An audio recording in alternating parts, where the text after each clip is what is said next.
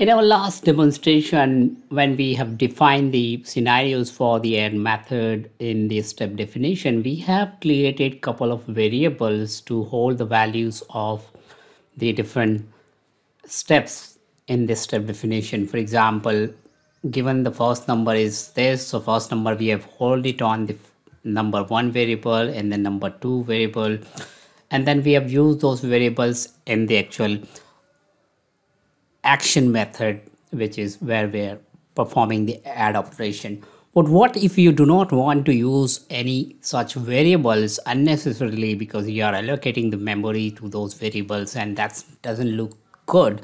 What other option you may have to hold the variable values in your step definition with the SpecFlow?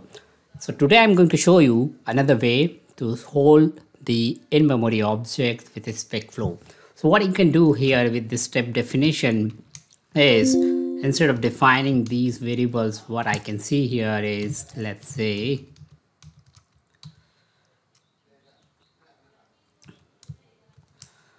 I can create a constructor and within the constructor I can pass the scenario context object which is the context object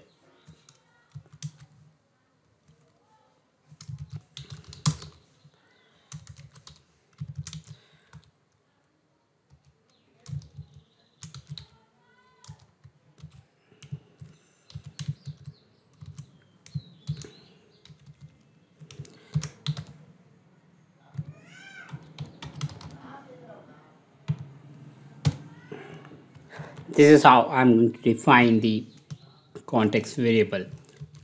Next, what I'm going to do, this context is again from the base class of the TechTalk, TechTalk SpecFlow library and you can use this context as an add which provides the add method to add the different variable values as in key key value pair. So I can say this as a number as in my key and the value of that key is going to be the value which we are getting it from here.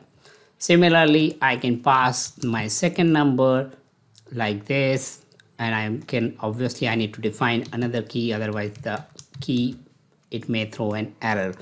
Similarly I can pass my next key which is the actual here with this value. Let's say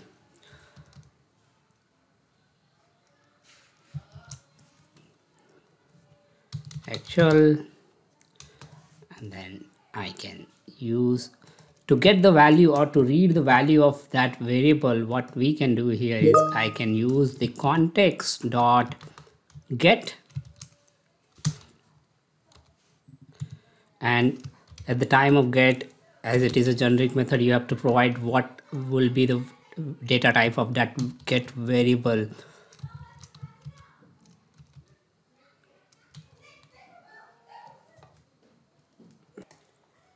This is how it will look like.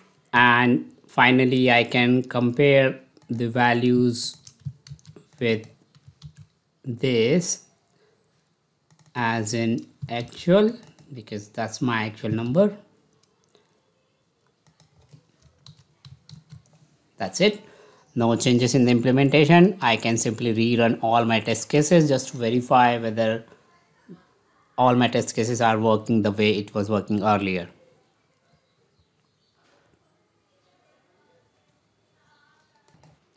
So my test cases are failing because of the type conversion unable to cause cast the object of type double to integer because I'm typecasting the double object into integer type so I have to convert it to double type. Similarly I will just update it as in this double type. Let me rerun again. Hopefully this time it should run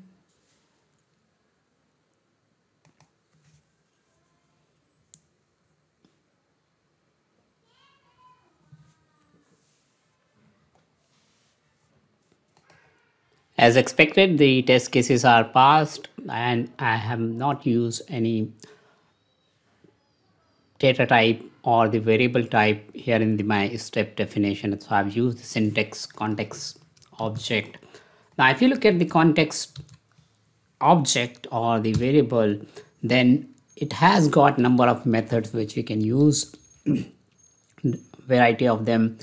Let's say it has got a add method and then there are some aggregate there are some extension methods which are available which is hopefully is from the LINQ operations which we can use it if you would like to get the data out of the context right? So using context is is a great feature here with the SpecFlow which we can utilize while writing the unit test cases. I hope you have found this useful. For the upcoming for the next videos stay tuned with this channel and do not forget to subscribe to the channel if you haven't already. Thank you for watching. See you in the next video